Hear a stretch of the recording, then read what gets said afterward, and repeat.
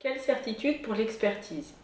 L'expertise se définit comme une mesure d'instruction par laquelle un technicien, commis par un juge, va éclairer celui-ci sur une question de fait qui requiert ses lumières et pour laquelle une simple consultation ou de simple constatation ne serait pas suffisante. En d'autres termes, l'expertise est présentée par le Code de procédure civile comme une mesure d'instruction subsidiaire par rapport à d'autres types de mesures d'instruction qui sont moins coûteuses. L'expertise, en effet, met en œuvre une procédure particulière prévue par le Code de procédure civile et qui est requise euh, à peine de nullité de l'expertise bien souvent. Il sera ici question uniquement de l'expertise judiciaire, puisqu'il peut également y avoir des expertises amiables dans le cadre des assurances, par exemple. En ce qui concerne l'expertise judiciaire, elle est prévue par le Code de procédure civile au cœur du titre 7 de ce code qui est consacré à l'administration judiciaire de la preuve. L'expertise a acquis dans le procès une importance fondamentale comme d'ailleurs euh, dans le Code de procédure civile qui lui consacre 23 articles. Le professeur Geland relevait que chaque époque a une prédilection pour un mode de preuve particulier. Cela a été lors d'Ali à une époque, fort heureusement nous nous en sommes détachés pour parvenir à des modes de preuve beaucoup plus humains. Aujourd'hui, l'expertise euh, euh, joue dans le procès un rôle essentiel, non seulement à cause de son importance procédurale, c'est-à-dire qu'il revêt un intérêt théorique et académique extrêmement important, mais également parce que c'est un mode de preuve qui est très actuel. On a donc beaucoup d'exemples euh, dans l'actualité.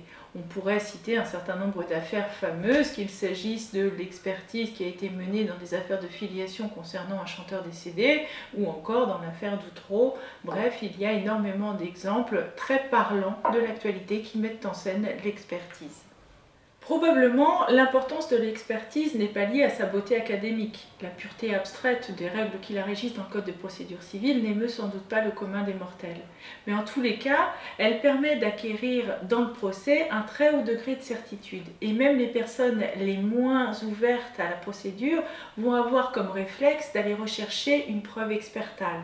La preuve expertale est bien souvent perçue par les profanes comme une preuve présentant un haut degré de fiabilité qui convaincra nécessairement le juge. Donc dès lors que l'on a une expertise, on a un préjugement en quelque sorte.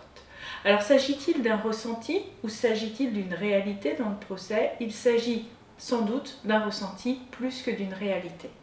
La mission du juge est de dénoncer un devoir-être, c'est-à-dire qu'il doit euh, se prononcer sur une situation, trancher le conflit et dire le droit il n'a pas à se prononcer sur la réalité des choses, sur les certitudes, sur les connaissances scientifiques.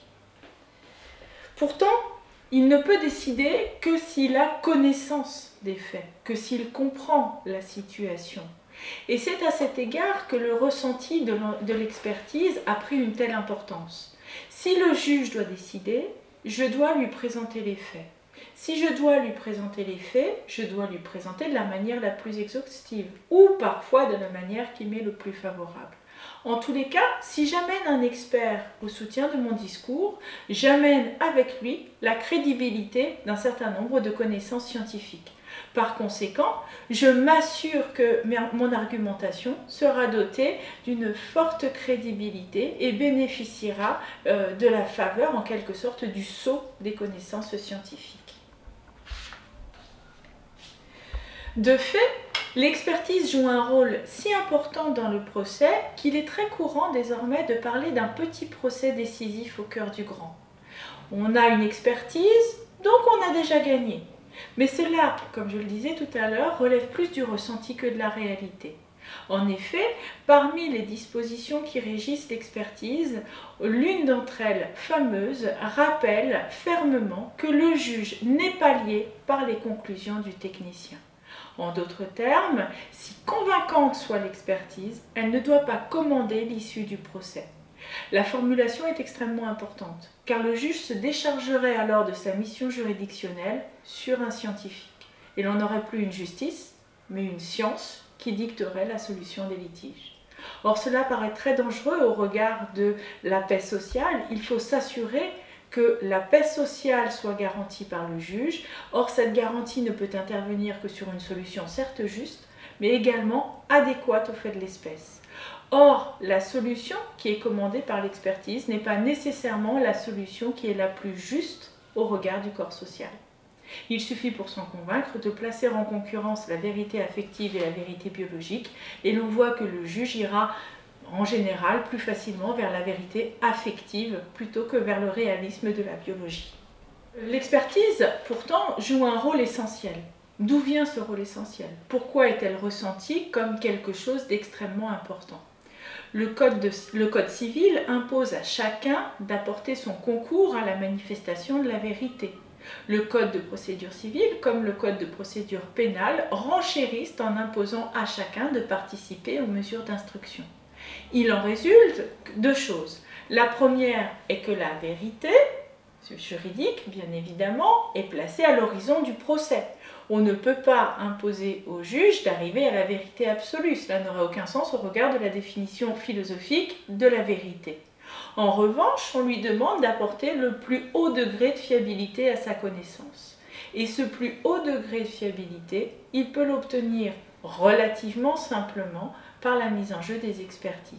Il démontre ainsi qu'il a mis en œuvre tous les moyens, que ces moyens sont hautement fiables, que cette fiabilité rend crédible la solution et que cette solution sera tenue pour la vérité dans les faits de l'espèce. Donc, si la vérité est ainsi mise à l'horizon du procès, on y ajoute euh, l'obligation pour les parties de se prêter euh, à l'organisation des mesures d'instruction et tous les acteurs du procès sont ainsi engagés vers la recherche de la vérité. C'est probablement ce qui, dans l'esprit des plaideurs, vient frapper euh, la conviction que l'expertise va commander l'issue du procès. D'un point de vue procédural, on en est loin, puisque le juge va procéder à une certaine distanciation avec l'expertise, en, autorisant finalement soit d'aller dans le même sens que l'expert et en utilisant alors les conclusions expertales pour démontrer que sa solution est fondée. Regardez, la science euh, le, va dans le même sens et par conséquent, je motive ma décision soit en se distanciant par rapport aux conclusions de l'expert et en créant une sorte de filtre, en procéduralisant l'expertise qu'il va intégrer dans son propre langage. Cela signifie deux choses. Cela signifie tout d'abord que le juge et l'expert ne jouent pas le même rôle. En conséquence, s'il peut arriver qu'il réponde à la même question, A est-il le père de B? Il peut également arriver que les questions posées à l'expert et celles posées au juge ne soient pas les mêmes. Celle qui est posée à l'expert sera alors simplement un élément de raisonnement du juge, sans commander ce raisonnement, sans véritablement euh, présider à la solution qui sera prononcée par le juge. Et puis ça signifie une deuxième chose, cette deuxième chose étant que la procédure étant intégrée à la euh, pardon, que l'expertise, cela signifie une deuxième chose, cela signifie que l'expertise étant intégrée à la procédure va en subir les contingences.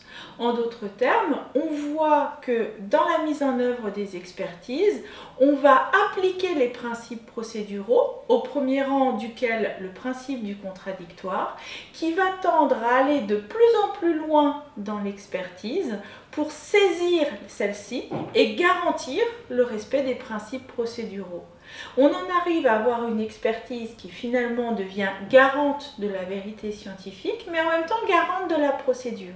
Et tout cela se mêle de plus en plus pour permettre au juge finalement d'intégrer l'expertise dans son discours.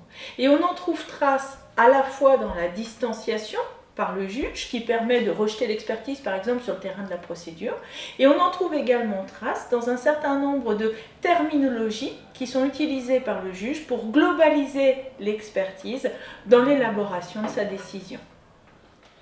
Le juge n'est donc pas lié par les certitudes scientifiques. Au demeurant, il peut très bien aussi ne pas y en avoir.